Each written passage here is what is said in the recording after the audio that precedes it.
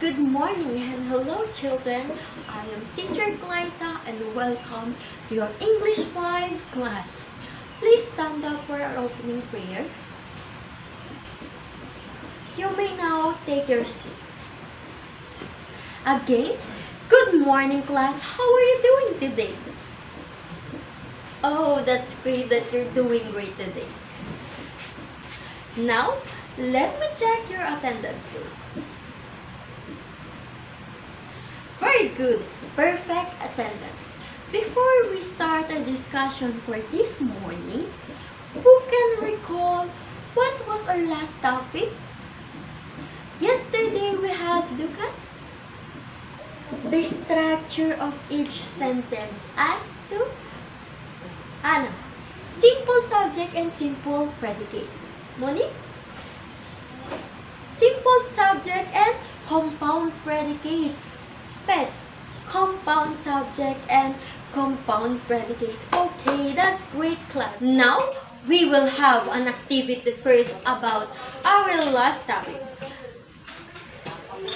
Beside this sentence, put the appropriate flashcards. With SS stand for simple subject and compound predicate. CS and SP is compound subject and simple predicate. Compound subject and compound predicate is for CS and CP. Now, birds and animals help propagate plants. Where is our compound subject? Yes, it's birds and animals. Oh, where is our simple predicate? Help propagate plants. Yes, you were correct. Now, second, Ariel cleaned the cage and fed his pet. What is the answer? Simple subject and compound predicate. Ariel is our simple subject and clean the cage and fed his pet is our compound predicate. The third one. Fruits and vegetables are good source of vitamins and minerals. What is the answer? Compound predicate and compound subject. What is our compound subject? Yes, it's fruits and vegetables. Where is our compound predicate? Good source of vitamins and minerals. You're, do, you're doing great class. You were awesome. Now, let's move on to our next topic. Look at this picture class. Who are they? Yes, they are our heroes. Watch this video class. Mikey, aren't Filipinos practically Spanish? Excuse me? Well, you have a Spanish last name. oh yes, Spanish royalty. Bustos, Duke of Spain. I mean, no prank, Filipinos are not a kind of Spanish. Ow. In fact, check out our Philippine heroes.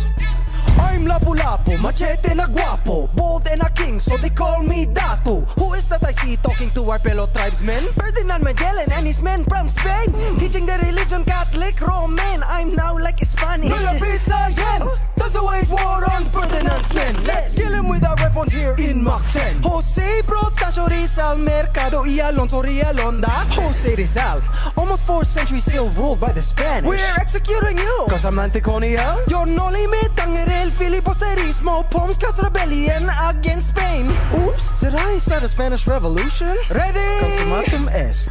Aim! We are the revolution, KKK Rizal, your death won't go in vain. I'm Andres Bonifacio, Republic Tagalog President na great plebeian Co-founder and supremo of the Katipunan The father of the Philippine Revolution A secret society of Filipino militants Hopes for a Philippines free from Spain I'm Marcela Agoncillo Simstes I'm in Hong Kong to escape the stress Then General Emilio Aguinaldo requested To sew a flag that best represented The Philippines look, oh isn't it bente? A sun, three stars, there's blue and red In accordance to General Aguinaldo's design. I'm mother of the Philippine flag. Okay. Apolinario Mabini, first prime minister of the Philippines. Hooray, we're free. Brains of the revolution, now working government despite losing my legs to polio disease. I'm an American, we'll show you burgers. Get rid of siestas and re-educate. Talk to the hand, what next? Let me guess, you wanna make Philippines a US state? General Luna, born in Manila, even if I am an Ilocano. Filipino general, fought in the Philippine-American War. Let me intro you to the Black Guard. Luna sharpshooters, the Luna defense line, they're like wall. With military science, I train these men to catch Americans like Pokemon Go. So you see, Frank, we Filipinos are not Spanish, we're not like Americans, we're not like anybody. We are our own people, independent and free. We have heroes to thank for that, and we cannot forget how we became the Philippines. Oh, that's kinda cool, Mikey. And don't ever forget it. Who is your favorite Filipino hero? Did you enjoy it? Oh, that's great. So, here's my question. Among these heroes, who is best for you? Anna, why did you choose Dr. Rosario? Tell what you know about his heroism using a simple sentence. Very good, class. Another? Remember this, our heroes gave their lives for our country. We must return it back to them by remembering their great words. Okay? Today, you will learn how to use compound sentence to show cause and effect. But before we tackle about the life of Dr. Rizal, we will have some examples first to have better understanding in our topic. Are you ready, class? Wait, look at this picture. What happened to the girl? You're right, the girl stumbled. Why do you think it happened? You are correct because she stepped on her shoelace.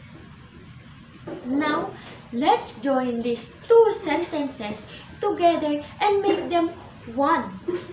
But first, we need words that would help us to join these two sentences. Hmm. Oh, let's use the word for. The girl stumbled for she stepped on her shoelace. Now, let's study the sentence. What happened to the girl? The girl stumbled. This part of the sentence shows the effect of or the result of something. Why did she stumble? Because she stepped on her shoelace. This part of the sentence is the cause or the reason why something happened. What word was added in between the two clauses? Yes, it's for. It is placed there to connect two independent clauses, making them one sentence. Now, look at that. We have successfully made a single sentence added the two simple sentences or independent clauses. Do you know that we have just created a compound sentence?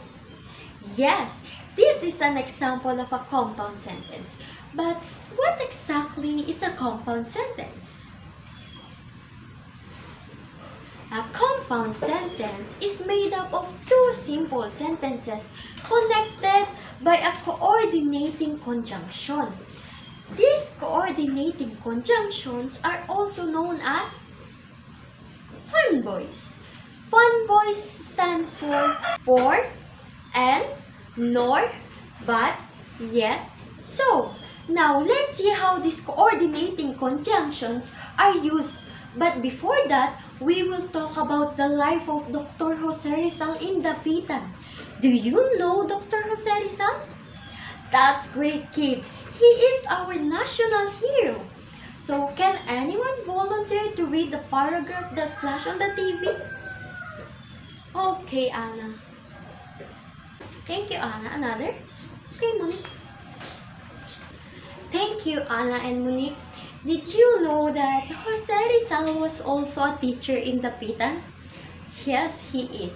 him and the town people built a school for young boys and girls who helped in the house and farm work. Rizal taught them for free and he provided them clothes and foods. That's how great our national hero. Going back to the coordinating conjunction, we will use some examples from what you've read about Dr. Jose Rizal. Are you ready, class? Okay, class, let's start with for.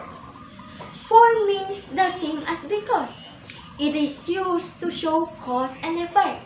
For example, Rizal was exiled to the Pitan where they accused him of being a rebel. Next is N. N is used to add one thing to another. Example, the Pitan was a poor village from the town and many people there are sick. Third, nor, it, nor is used to present an alternative negative idea to already stated negative idea. Example, he didn't study last night, nor did he read his book. But means the same as yet. They both shows contrast. Example, computer games are fun, but it is addictive. Second, computer games are fun, yet it is addictive. Or present an alternative or a choice. Example, Rizal had to go in the pitan or he would be arrested and jailed. Last is so. So indicates effect, result, or consequence. This particular coordinating conjunction is usually used to express cause and effect along with and for. Example, Dapitan did not have a real doctor. They only had pharmacy clerk. So, Rizal spent most of his day curing sick people for free using a herbal medicine. Did you get it, class? Now, let's look closely at this example. Rizal exiled to the Pitan for they accused him of being a rebel. What is the cause? Anna. They accuse him of being a rebel. What is the effect? Luis. Very good. Rizal exiled to Dapitan. What is the coordinating conjunction that used? Monique. Yes, it's four. They are joined together by a coordinating conjunction. Now, what is written right before the word for? June? Yes, a comma. In writing a compound sentence, put a comma after the last word of the first clause. Right before the coordinating conjunction. Remember that, huh? Another example. The Pitan did not have a real doctor. They only had a pharmacy clerk. So, Rizal spent most of his day curing sick people for free using a herbal medicine. What is the cause? Uh, another hand? Jen? Dapitan did not have a real doctor. They only had a pharmacy clerk. Awesome. Uh, what is the effect? Louisa? Rizal spent most of his day curing sick people for free using a herbal medicine. Thank you, Louisa. Last question. What coordinating conjunction joining them together? All of you? You're right. It's so. Did you notice that a comma is written right after the last word of the first clause? Wow, you are learning fast. Now, let's practice what we learned today. But first, remember this. To join two simple sentences together, use a conjunction. When using a coordinating conjunction, do not forget to put a comma after the last word of the first clause. Are you now ready for our activity? Excellent! Here's what you're going to do. Make a compound sentence that shows cause and effect relationship by combining two sentences into one. Use a conjunction and, for, and so to fill in the blanks. I will give you 5 minutes to answer all the 5 items. Your timer starts now. Okay kids, time to check your work. First question. I can get inside my house blank. I lost my house key. What is the answer? Look. For? Yes, it is correct. I can get inside my house for I lost my house key. Second, the typhoon brought heavy rains for days. Blank, the city was flooded. What is the answer? Monique? So? Yes, it is correct. The typhoon brought heavy rains for days, so the city was flooded. Third question. She bakes delicious cakes. Blanks. They are selling like hot cakes. What is the answer? Ben? And? Yes, it is correct. She baked delicious cakes and they are selling like hot cakes. Fourth question. Kevin ate three cups of rice. Blanks, he was starving. What is the answer, Anna? Four? Yes, it is correct. Kevin ate three cups of rice for he was starving. So let's check the last item. Fifth question. I forgot to bring my lunch. Blank. I had to buy food in the cafeteria. What is the answer? Louisa? So, yes, it is correct. I forgot to bring my lunch, so I had to buy food in the cafeteria. You got it right? Awesome! For your assignment, look for the picture of our modern day heroes. Do you know who is our modern heroes? Yes, they are our frontliners. As the country commemorates the National Heroes Day, August 31, 2020, the government recognized the frontliners against the coronavirus disease 2019 as modern day heroes. As we continue our fight against COVID-19, let's remember our modern day heroes, our frontliners who constantly put their lives at risk for our safety and protection. For the past nine months, our doctors, nurses, military, police personnel, and civil servants have been at the forefront of our nation's battle against the deadly disease. So, now, for your assignment, look for the pictures of our modern day heroes. Paste it in your notebook and write five sentences about his or her heroism using a compound sentence. Get it? Congratulations, kids! You have learned on how to use compound sentence to show cause and effect. Once again, I am Teacher Clarissa saying, learning English is fun. See you on our next English class. Goodbye, kids. Stay safe and God bless you.